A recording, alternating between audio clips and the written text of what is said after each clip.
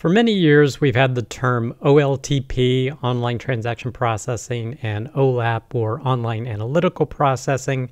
And basically, the transactional processing is basically your line of business functions. You want to process some types of transactions in the database. That's when you're doing OLTP. But if you want to run a lot of reports and analysis, that's generally OLAP. And to do that type of analysis, typically it required exporting the data from your transactional systems to another database system. Maybe this is a data warehouse, a data mart, a data lake. And a lot of times it took a long time to extract the data and load it into the other system. If you were lucky, it was a day, but that's been getting faster with different techniques over the years. Right now, they're doing things called change data capture to try and keep that analytical data as up to date as possible. Well, the first blog post this week talks about an incremental way to do it. Also, be sure to stay till the end where my consulting corner will talk about partition tables and optimization. But I hope you, your friends, family, and coworkers continue to do well. Our first piece of content is incremental archival from Postgres to Parquet for analytics. This is from crunchydata.com. And they had previously announced that they created the extension PG Parquet that basically allows you to export and import data to and from Parquet files using essentially copy commands. And they also created PG Incremental, so it allows you to create a never ending series of time intervals or files using the PG cron extension. That's something it depends on. And this blog post talks about using these both together to develop yourself an incremental data warehouse, something that is kept up to date, not in real time, but probably real enough for a lot of use cases. So they go through the process of how you would create an events table that you're tracking, inserted some data into it, and gave you an example of the function along with the extensions that you, would need to use to start to get this running to generate these Parquet files in S3. Now, once you have the Parquet files in S3, it's up to you how you want to analyze them from that point. They, of course, mentioned their solution, the Crunchy Data Warehouse, but you could use any tool to read and analyze these Parquet files. Maybe you could use, I think it's PG Lakehouse is one that embeds DuckDB, which is a database engine within Postgres, or there's also PG DuckDB. Maybe you could use those or the solution they're mentioning here. They do give an example of this solution, but they also show you an example of a performance for an analytical query they're running on 100 million rows. And if you're using the raw data on the original server, it took over five seconds to process this query. Whereas if you use Parquet files or an even optimized form of that, an iceberg file, you get 10 times better performance from the optimized column storage. But if you're needing to do some analytical processing and looking for a way to extract data from your operational data stores, you may want to check out this option. Next piece of content, Postgres parallel query troubleshooting. This is from crunchydata.com again. And Postgres allows some queries to run in parallel. But it says certain things may trigger a downgrade of the parallel query to a serial one, basically a non-parallel. They talk a little bit about how parallel queries work and how some of the reason you may not be getting a parallel query is that you could have exhausted the worker pool, which is basically the max parallel workers parameter, or you may get less workers than you would expect. Maybe that's because your max parallel workers per gather is lower than you want. That means every query has access to this many workers. Or maybe there's so many queries going on at the same time, there's not enough worker resources for each of those queries to run, so they have to run serially. Or the other reason is optimizer stats. Maybe the optimizer has determined it's more efficient to just go ahead and run a query serially as opposed to in parallel. And in terms of simulating the issue, they basically created a large table and they set the max workers per gather to four so you could see what a parallel plan looks like. And then they set it to zero. Then you can see the explain plan for a serial running of that query. But the other interesting thing is how do you detect in production? Well, of course, you can see it using explain analyze. But PG stat activity also gives you an indication of the parallel workers that are in use by just looking at the uh, backend type column here. But in the last paragraph here, they actually created a procedure, the link is here, that simulates an Oracle feature called Oracle Parallel Query Statement Queuing. And basically it checks how many workers are available to do parallel queries at the time that a query is ready to run. And if there are insufficient workers for it, meaning you may get a slow query because it downgrades to a serial execution, it actually pauses the execution of that query with a certain delay and then rechecks it. And only when there are sufficient workers available does it go ahead and run the query. So that seemed pretty interesting. And if you want to learn more, you can check out this blog post. Next piece of content, view inlining in PostgreSQL. This is from notsoboring.sql.com.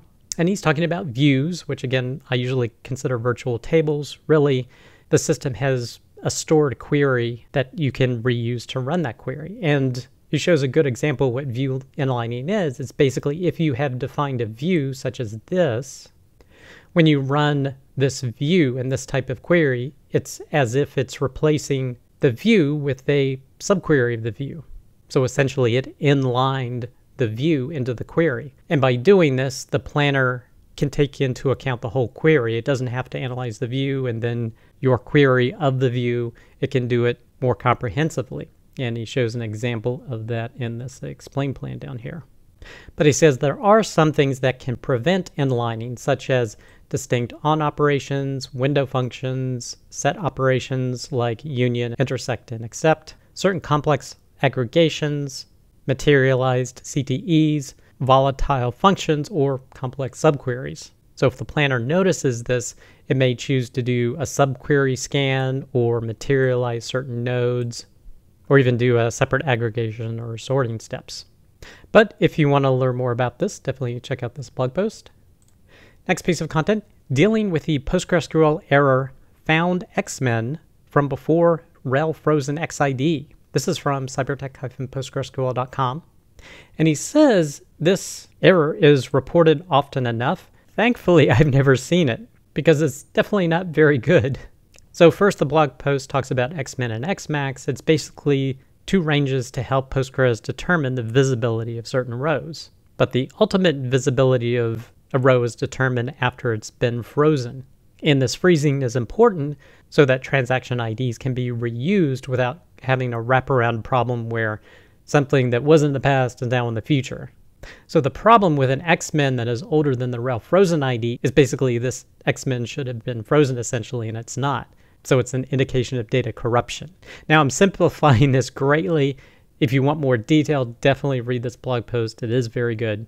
But he says the main reason that this can happen is some sort of corruption. So basically you need to address the corruption and he actually simulates it here by updating the system catalog, causing the error and hence the corruption. And it only happens during vacuum operations, so it's not anything you're going to experience with queries, this particular error. It only happens during vacuum. So it's very important to track what Postgres errors are being logged. Now, the ways to fix the error, the best way, he says, because it ensures any corruption is gone, is dumping and restoring the table but that can be very inconvenient, take a long time. Some other alternatives is update the rel frozen XID and the PG class system catalog. But it's dangerous. The, main thing he says, quote, if you pick a bad value for rel frozen XID, you could end up with worse problems. So definitely dangerous. Another option is using PG surgery. That's a tool I've never used.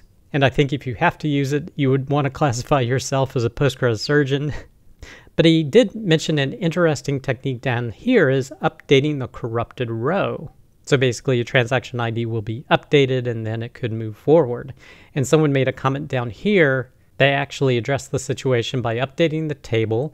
They set a column to itself, essentially, an update where nothing was really changed, and only update the rows where the xmin was less than the rel frozen xid. So this was a pretty interesting technique to address this issue. But if you want to learn more, definitely check out this blog post.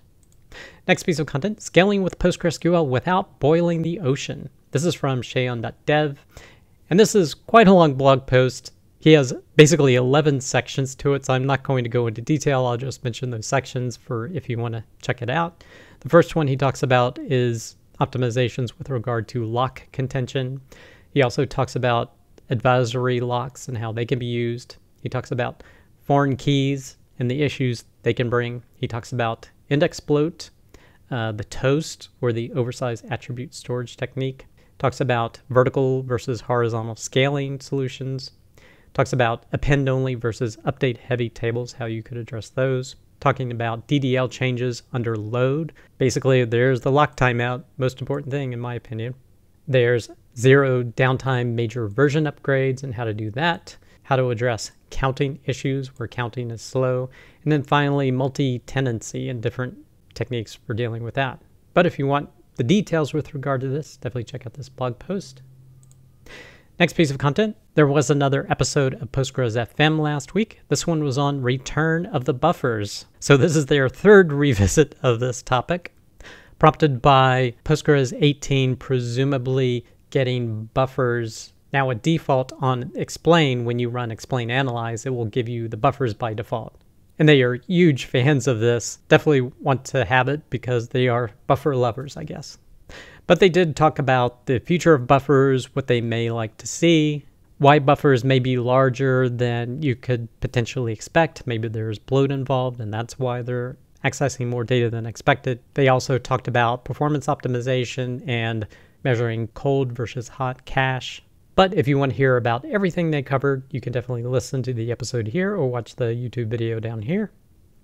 Next piece of content, PostgreSQL 18 virtual generated columns. This is from dbi-services.com, and this is super great in my opinion. So we've had generated columns since, I don't know if it's Postgres 14, I can't remember when, but those generated columns are stored. So it actually stores a value in that column of the table. Whereas 18 looks like it's going to have virtual columns. So basically you don't have to use disk space for storing these additional columns, but you can query them like any other column. So they show an example of here. You just omit the stored option when creating that generated column and it gives you a virtual one. So that's definitely awesome. You can check out this blog post if you want to learn more. Next piece of content, how about trailing commas in SQL? This is from peter.eisentraut.org. And I know when I've found that various languages support the trailing commas, I'm like, Thank goodness, this is awesome. And now, whenever I use other languages that don't have it, I always want it. So I would love for SQL to have trailing commas. But this blog post article talks about how should we handle it? How should we address it? Is this something Postgres should do? Should the SQL standard do that first and then Postgres? So there's a lot of discussion about how to do it. Do we do it everywhere? Do we do it only in certain places? But if you want to learn more, check out this blog post.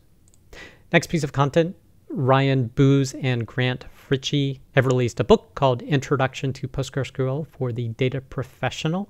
And this announcement is at softwareandbooz.com. And the actual title of the blog post is On Writing a Book About PostgreSQL. And it looked to be more administration related topics from the overview that I saw, but there's definitely an announcement here on the podcast about it as well. So if you're interested, you can check this out. Next piece of content, there was another episode of Talking Postgres. This one was on why mentor Postgres developers with Robert Haas. So you can check this out if you're interested. Uh, last piece of content, distribute PostgreSQL 17 with Citus 13. So it seems Citus 13 is released with support for Postgres 17. So if you use Citus or are thinking about it, it now supports Postgres 17. And now for this week's Consulting Corner, I'm going to talk about partition tables and optimization. So if you choose to partition your tables, you need to think carefully about how you want to do indexing. How I like to generally do it is make sure the primary key of the partition table has whatever column you're sharding as the first value, and then a second value, maybe that's an identifier, such as a big int or a date or something else. So usually I'm using a multi-column primary key when I'm using partition tables because I want to include that shard key in there. And any other indexes on that partition table, I usually always include the shard key as the first column too. So most of my indexes are multi-column indexes when using partition tables. And if you design it that way, you also need to make sure that your queries always include the shard key in any other columns in the indexes so that the full indexes can be used. Because I have seen some cases where clients are not including a shard key, particularly the leading columns of the index, so it doesn't get utilized efficiently, which can lead to slower queries, of course. And if you just query one of the child partition tables, you should still include all the columns in your query that exist in the index to make sure that the planner can find the most optimized plan for executing your query. The other thing about partition tables to keep in mind is that if you do create an index on the parent partition, that index cannot be removed concurrently. So you can add it concurrently. First, you add it concurrently to the child tables, and then you can add the index to the parent, and it will happen very quickly. But in terms of taking off that index, the only way to do that is to do it non-concurrently. So you do need to make a decision if you're going to be creating all your indexes on that parent table as well, because once they're there, it's kind of hard to remove them. But those are just a few tips when working with partition tables. I hope you enjoyed this episode. Be sure to check out scalingpostgres.com where you can find links for all the content discussed, as well as sign up to receive weekly notifications of each episode. There you can find an audio version of the show as well as a full transcript. Thanks, and I'll see you next week.